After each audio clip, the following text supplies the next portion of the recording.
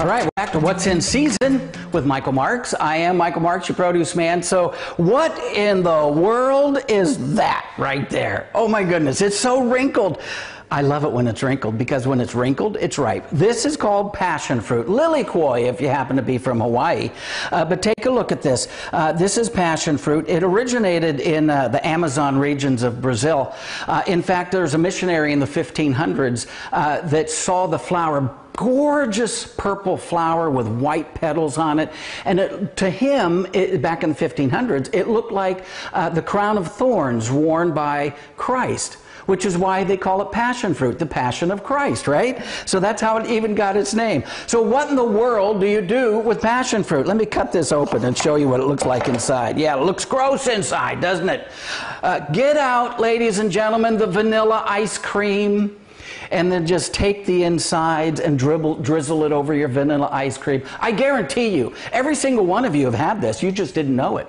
A professor at the University of Hawaii uh, tried to figure out what do we do with lilikoi. He came up with 101 things to do with lilikoi. His best thing that he had yeah, Hawaiian punch. That's right. And all of you have had Hawaiian punch. Uh, uh, that is the punch in Hawaiian punch. Hey, I wanted to talk a little bit about potatoes uh, because there's a fancy word that Nora Olsen, she's a scientist of spuds, a professor of potatoes at the University of Idaho.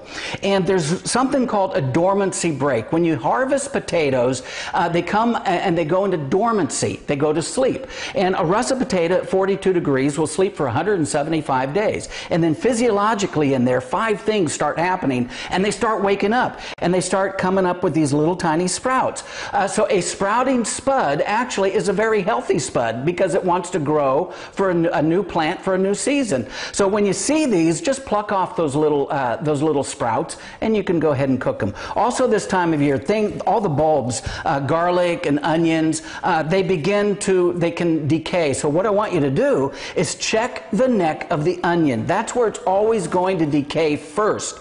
So if you start seeing some decay under there, find another onion. Now, finally, I want to talk about sweet potatoes, ladies and gentlemen. Please don't let Easter be the last time that you eat potatoes, the healthiest vegetable grown on planet Earth.